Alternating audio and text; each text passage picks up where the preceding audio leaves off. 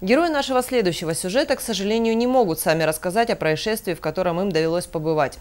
У них даже не было телефонов, чтобы маленькими лапками набрать номер полиции. Потому уже с последней летней ночи они переживали, спрятавшись в домике и уткнув мордочки в пушистые хвосты. Неизвестные вандалы пытались разломать беличий вольер, расположенный на аллее любви. Как это было, вы можете увидеть прямо сейчас. Записи с камер видеонаблюдения, полученные после происшествия, показывают, как в 3 часа ночи двое неизвестных людей мужского пола со стеклянными бутылками в руках подходят к беличьему вольеру. С первого взгляда может показаться, что они наполнены романтическим духом натурализма и хотят приобщиться к дикой живой природе.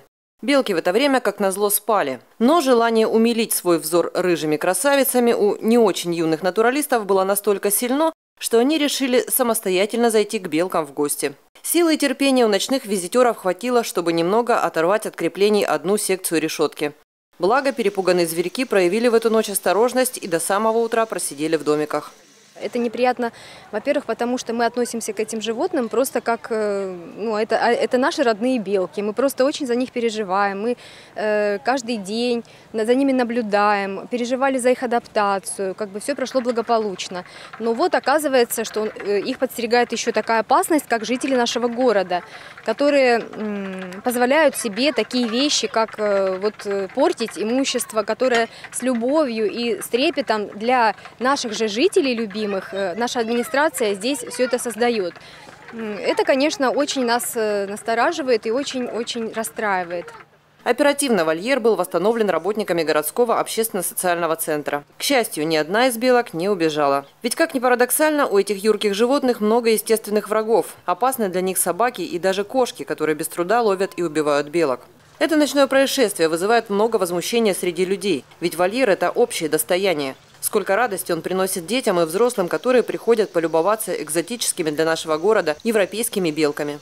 Давайте будем более трепетно и уважительно относиться э, к чужому имуществу. И, ну, как бы это наше с вами общее имущество, потому что это принадлежит всем жителям нашего города. Это для вас сделано, для ваших детей, чтобы они пришли сюда, полюбовались на этих прекрасных милых животных, потешных. Эм, не нужно э, делать зло, потому что оно обязательно возвращается в этой жизни.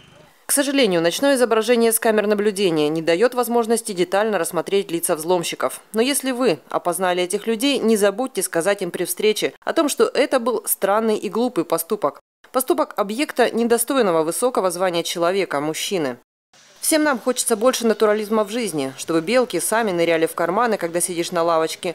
Но пока, чтобы защитить глупых животных от разумных людей – к табличке, гласящей «кормить запрещено», стоит добавить таблички «запрещено ломать клетку» и бросать камнями. Быть может, свет познания, который несет чтение, поможет некоторым нашим соплеменникам научиться себя вести в общественных местах. Мария Климова, Игорь Ванчугов, программа «События».